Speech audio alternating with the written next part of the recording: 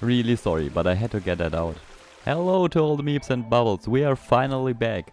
I wasn't lazing around like our dupe right here, but as you may have already read, my PC broke down. So I had to order parts for a new one, build it, set it up again, and now I'm back to editing and recording videos. In this episode I want to take care of our energy problem. Our energy deficiency originates from us not having enough hatches, as well as burning through all of our reserves. At least now we get a small amount of power and water from our hot steam geyser. At the moment this is the only water that we use for oxygen production. So this episode is finally the time to use the energy from our magma biome that we have right here. If we would have been lucky, we could have dug right through this spine here, but as you can see, it doesn't go all the way down.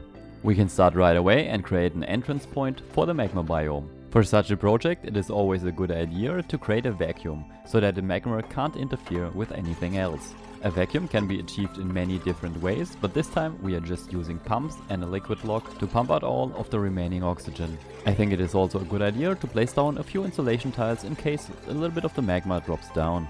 Meanwhile, on the second planetoid, it is time for a new duplicant. And this time we do have another patron. So Ted, thank you for the support and welcome to the base. Our lovely Ted will of course get a nice bedroom to start with. He will also get a simple skill, so he's useful for the base. After getting a prized head, he's now a full member of Wade's planet. Whereas on the main planet, I managed to make McLim very sad. Probably because of all the stress I'm putting the dupes through. And a potential solution for that is not giving the dupes less stress, but to make their surroundings a little bit prettier. Meaning in our case I'm just going to spam a few pixel packs around our duplicant, so that at least their work environment is prettier to look at. Meanwhile, a small sand delivery for Steakooo's Gooey Paradise. Speaking of weirdly named places, I installed a mod that lets us rename our Spacefarer modules as well as our planets. So this is exactly what I will be doing. First we had Steakooo's room and now Wade's planet. We got a Dupe's right violation right here. Let's call it Free Water. We have the main planet and Kyle's room right here the lovely Great Hall, Hans Martin and David's room. The next one up is McLim and Skycloud, a little bit of Lice, Research Rocket, let's not forget the Fungus, Space Travel, Steakooo's room, Steakooo's Great Hall and Steakooo's gaming station. And as you have seen in the background, power problems that make some of our duplicants very angry. I think Skycloud here is speaking for all of us. If you ask yourself why Steakooo is getting such a prioritized treatment, take a look at what he was able to achieve in the last 78 cycles. And not only that, we expanded downwards. And you know what happened. Steakooo tried to sacrifice himself to Poseidon. So in order to prevent that, we had to get him out of there. Luckily we did manage that, but it was a close call as you can see. A different method to create a vacuum would be to tile everything in and then delete the tiles. Depending on the size of the room you do that, it can be more or less efficient. In this case it clearly took way longer to tile everything in than to vacuum it out. The storage bin by the way is so we can collect up hot material and don't have to transport it through our liquid lock. That would be a mess. I wanted to show you different methods of getting through the magma. So here on the left side, the vanilla side, I had plans for a sweepy setup made out of steel that can sweep up all the dropping magma. The magma could then manually be placed by a dupe in a steam turbine setup to produce some energy. But I didn't manage to get to that point. By the way, here you can also see the reason for the storage bin. We don't want to transport that super hot material through our liquid lock. After clearing through the rest of the abyssalite, there would be enough space for our sweepy setup, if I would have gotten to that. Since holding their breath is not the most efficient way to build in a vacuum, I imported some atmosuits from the second planetoid. Now the dupes can start the dangerous task of digging through the magma right here, or any other method that I might come up with. I skipped a little bit forward and let the duplicants dig as far as they could towards the magma. The reason for that is so we can start with our first exploit. For this exploit we will need a conveyor loader, a little bit of energy, a few tiles of conveyor rail made out of steel, as well as some heat resistant steel metal tiles. The next thing that makes this easy and cheap is the meter valve, because it drastically reduces the amount of material and heat that we need to pull this off. Then you create pathways to every single one of our steel conveyor rail tiles. I did also notice that we probably need more than those 4 tiles. For now we can try 6 or 8 tiles. After hooking up all the pathways, I set the meter valve to the smallest possible value, which means that only the tiniest amounts of the material that we want to have in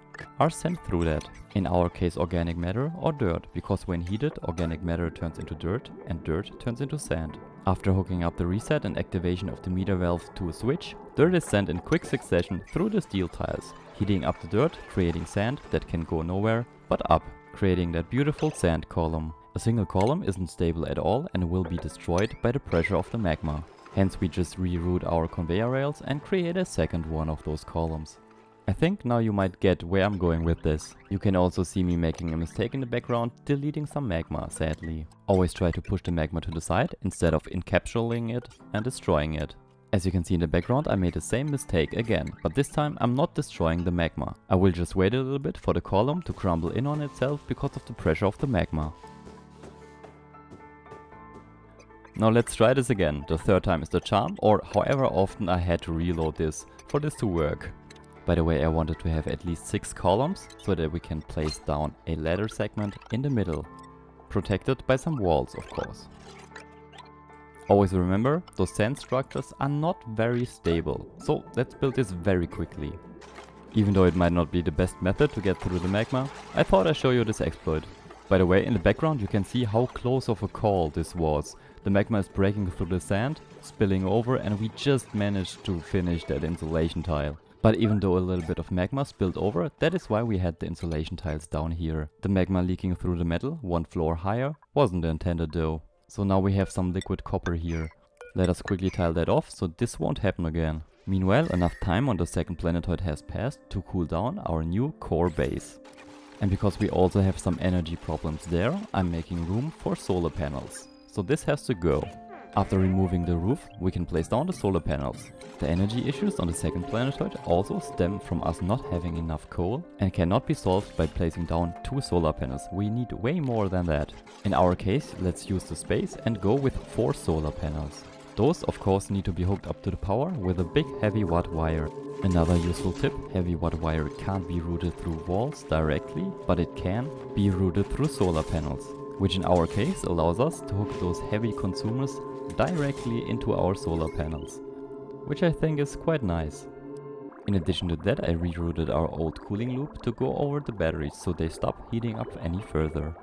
The gaps in the liquid system will be filled with the fresh water that we got from our free water device in the last episode. Meanwhile we just barely managed to stop the magma from cooking our debris. You now may ask yourself why this ladder shaft and how is this going to help us with energy production? The short answer, I want to build a glitch pump steam turbine combination. Oh come on Kyle, seriously? Okay, let's quickly get him out of there. The glitch pump is my absolute favorite building. Sadly, we will need a buttload of steel for that. And for steel, we will need lime. And for lime, we will need fossil. So let's dig up a lot of fossil. Oh, and when I said we need a buttload of steel, that is only when you want to handle hot materials like magma. If you want to pump colder liquids, normal materials should do. And now go enjoy this dupes freaking out.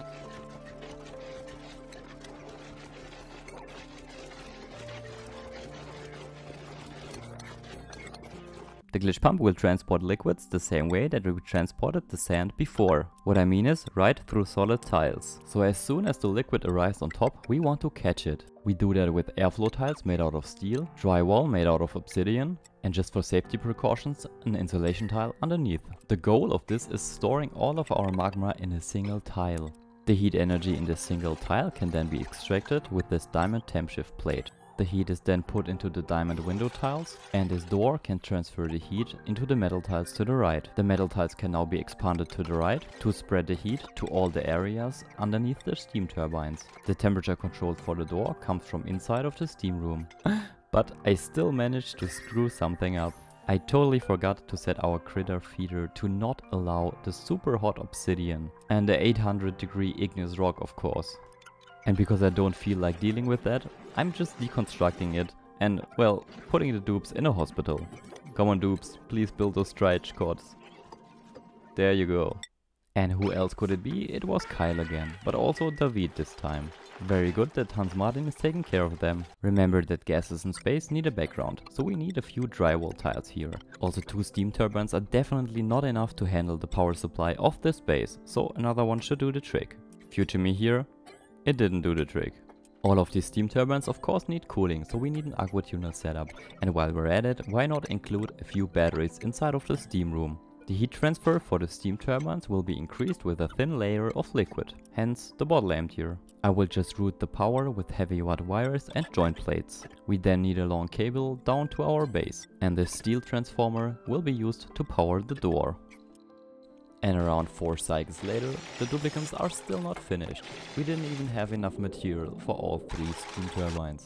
What we can do though is prepare the piping. A few radiant pipes behind the steam turbines and insulated pipes everywhere else. The water from the steam turbine will be refed into the steam room on the hottest tile, so far most to the left. For the automation I also want something simple. The steam turbines should only activate if the steam is above 125 degrees Celsius as well as when the battery tells you that we need to fill it up. Speaking of batteries, here's another one.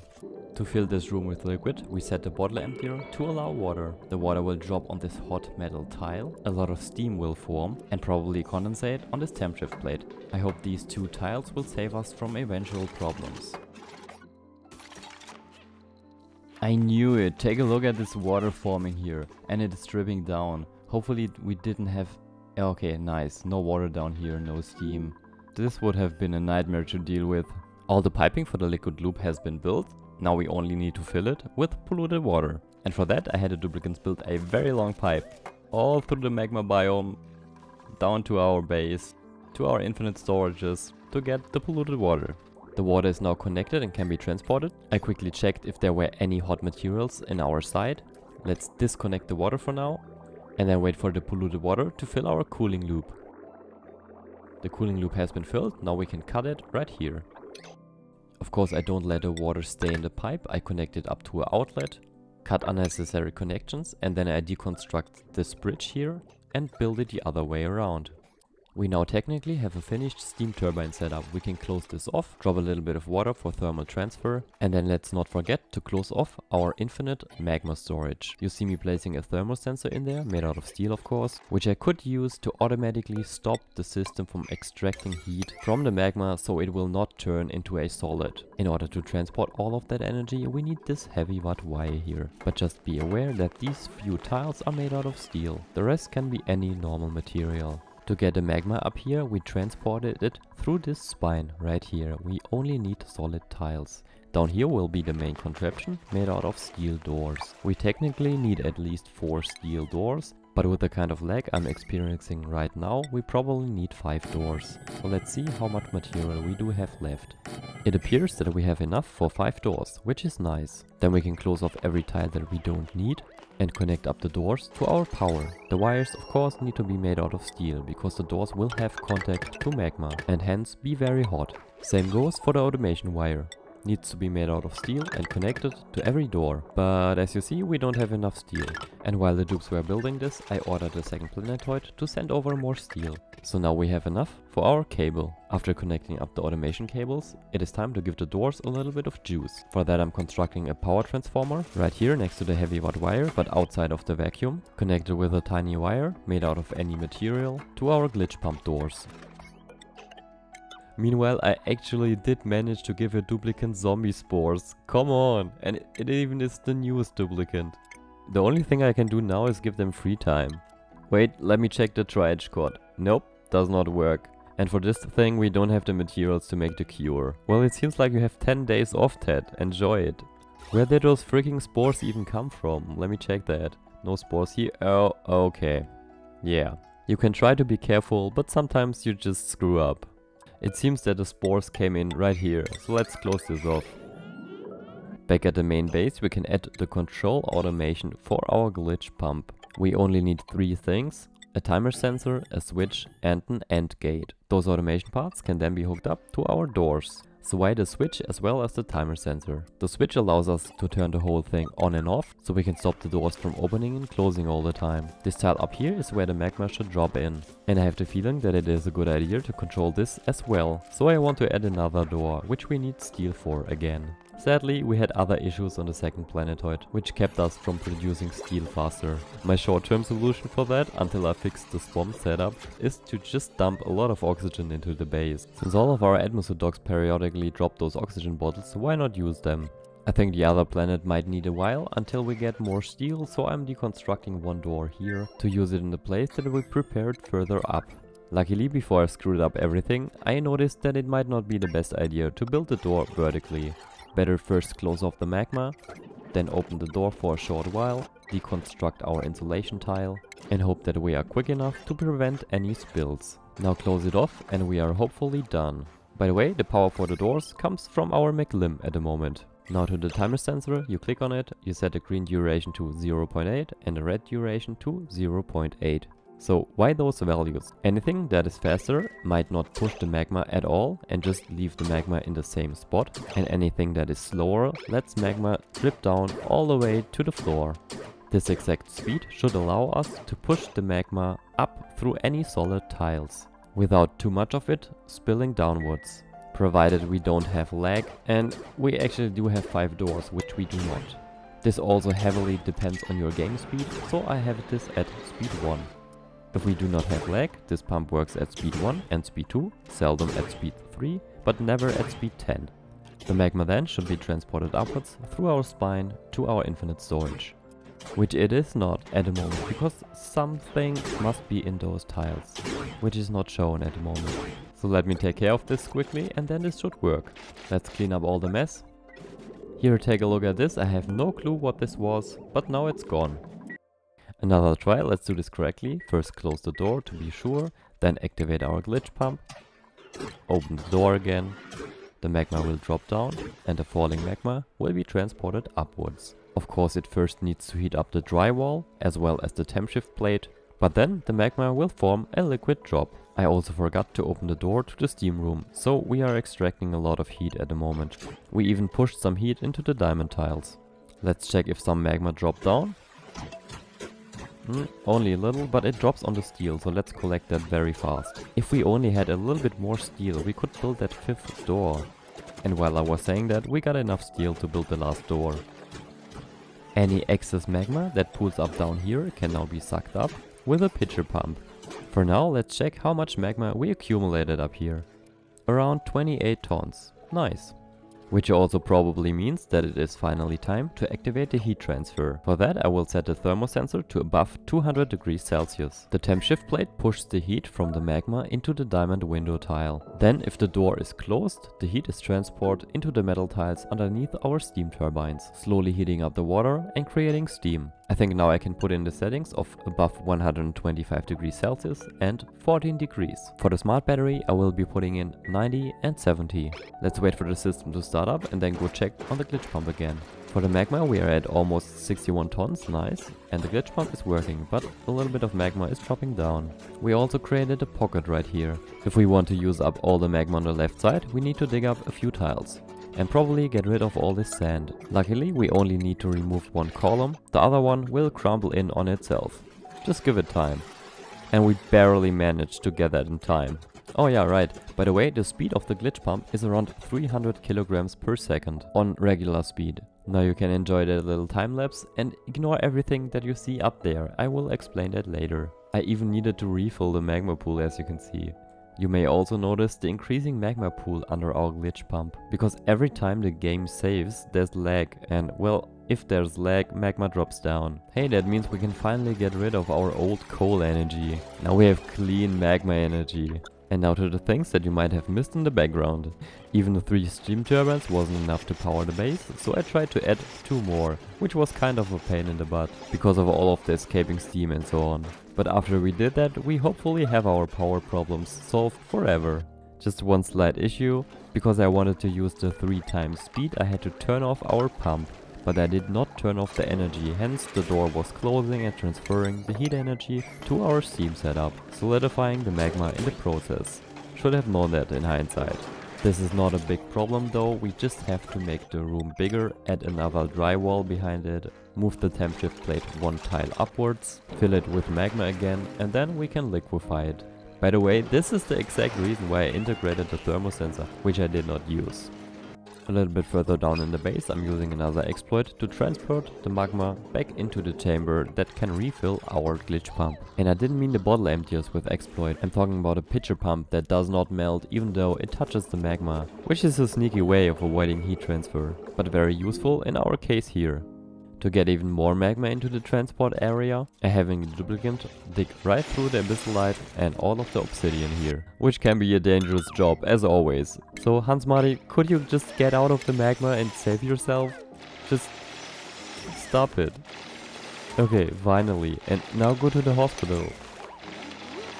If I see that correctly, we did manage to liquefy our magma again. We now have 286 tons, as well as 110 tons of igneous rock, which means we finally arrived at the goal at making the base more independent from coal energy. Now we are only dependent on magma energy, which of course is way less dangerous and harmful to the duplicant life.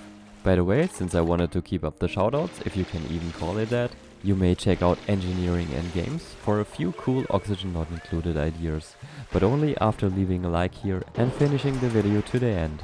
Thank you all for watching, a special thanks to my patrons, and now if you want to, you can check out the playlist on the screen.